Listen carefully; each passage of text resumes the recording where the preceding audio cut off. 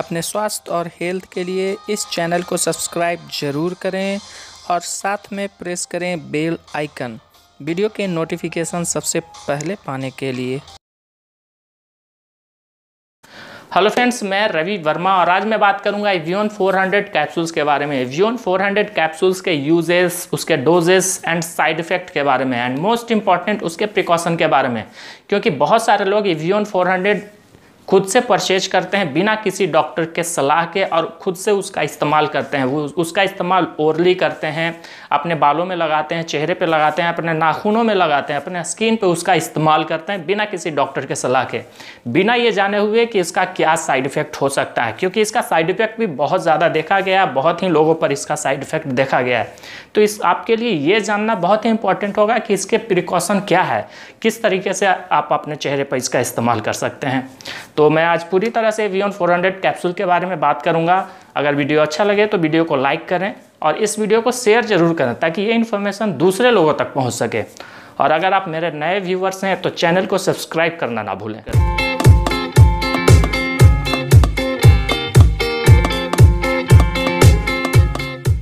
पहले जान लेते हैं, इवियोन 400 कैप्सूल है क्या? इवियोन 400 कैप्सूल मोस्टली एक विटामिन ई e का कैप्सूल है। इसमें जो मॉलिक्यूल मिले हुए हैं, वो टोकोफ्रोल एसिटेट है। इसे एक सिंथेटिकल विटामिन ई e कहा जाता है, यानी कंपनियों के द्वारा बनाया हुआ विटामिन ई e कहा जाता है इसे।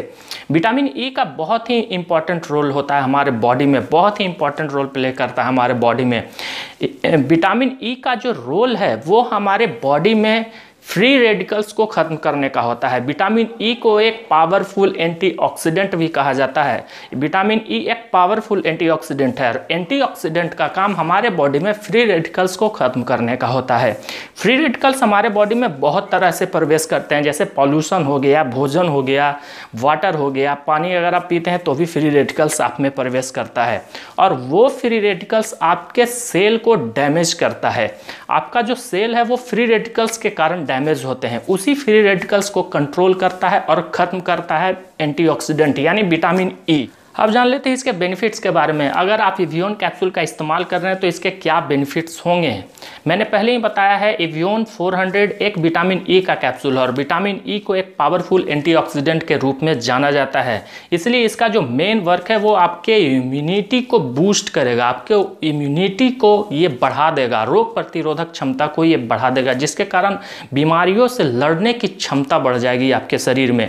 बहुत ही अच्छे तरीके से इम्यूनिटी को ये बूस्ट करता है। इसका जो नेक्स्ट बेनिफिट्स है, वो हेयर में बहुत ही बेहतर देखा गया है। अगर आपको हेयर फॉल की समस्या है तो आप अगर इवियोन 400 का इस्तेमाल अपने हेयर पे करते हैं या तो फिर इसे ओरली खाते हैं तो यहाँ पे आपको हेयर फॉल की समस्या से भी छुटकारा मिलेगी। मैं ये नहीं कह रहा हूँ कि ये पूरी तरीके से ये ख़त्म कर देगा हेयर फॉल की समस्या, लेकिन इसे कंट्रोल ज़रूर करता है हेयर फॉल की समस्या को। इसका जो नेक्स्ट बेनिफिट है, वो एक्नी में बहुत ही बेहतर देखा गया है। बहुत सारे लोगों की एक्नी की समस्या होती है। खासकर लड़कियों में इसकी समस्या कुछ ज़्यादा ही होती है। तो अगर आप इसका इस्तेमाल एक्नी में, इसके वाइल को एक्नी पे करते हैं या तो फिर इसे ओरली खाते हैं तो वहाँ पे भी इसका बेनिफिट देखा गया है। एंड मोस्ट इंपॉर्टेंट इसका इस्तेमाल डायबिटीज़ में बेहतर देखा गया है। अगर आपको डायबिटीज़ की प्रॉब्लम है तो आप अगर इवियोन 400 विटामिन ई का इस्तेमाल करते हैं तो डायबिटीज़ आपका नियंत्रण में रहेगा।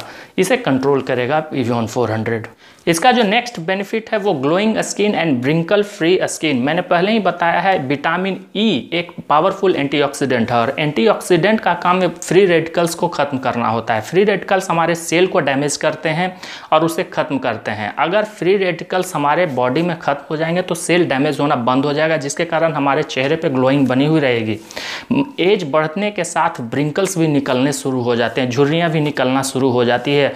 उसे भी ये बहुत ही हद तक कंट्रोल करता करता है एवियन 400 कैप्सूल अब जान लेते हैं इसके प्रिकॉशन के बारे में। अगर आप इसका इस्तेमाल अपने बालों में, या तो आप अपने चेहरे पर, या तो फिर नाखूनों में कर रहे हैं तो इसका इस्तेमाल बहुत ही ज़रूरी है कि आप सही ढंग से करें।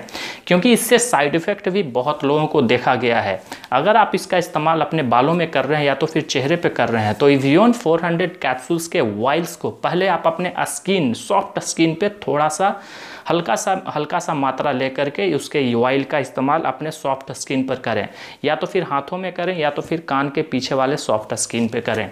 और उसे लगभग चार से पाँच घंटे तक छोड़ दें। अगर वहाँ पर आपको ईचिंग या तो फिर रेडनेस या तो फिर जलन, किसी भी तरीके से कुछ भी महसूस हो तो आप इस 400 हंड्रेड इवियन 400 का इस्तेमाल ना करें, क्योंकि आपको इससे साइड इफ़ेक्ट का चांसेस बहुत ही ज़्यादा होता है। मान लीजिए आपको साइड इफ़ेक्ट है, अगर ईचिंग होती है रेडनेस वगैरह, जलन वगैरह होती है तो आपको इवियन 400 से साइड इफ़ेक्ट है। आप इसका इस्तेमाल कभी ना करें अपने चेहरे पर या तो अपने बालों में।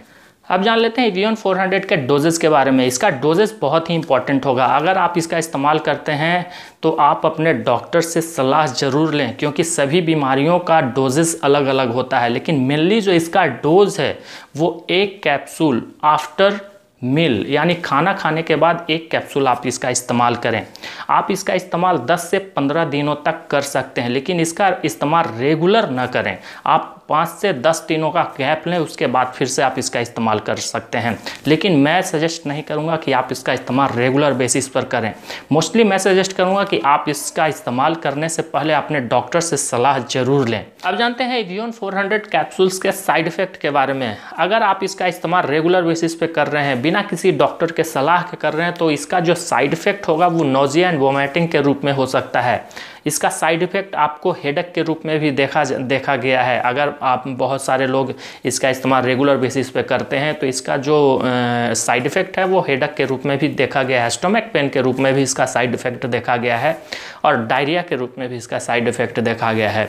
अगर किसी भी तरह का साइड इफ़ेक्ट दिखे तो आप अपने डॉक्टर से तुरंत कंसल्ट करें। अगर वीडियो अच्छा लगा हो तो वीडियो को लाइक करें शेयर करें अगर अगर आप मेरे नए व्यूवर्स हैं तो चैनल को सब्सक्राइब ज़रूर करें।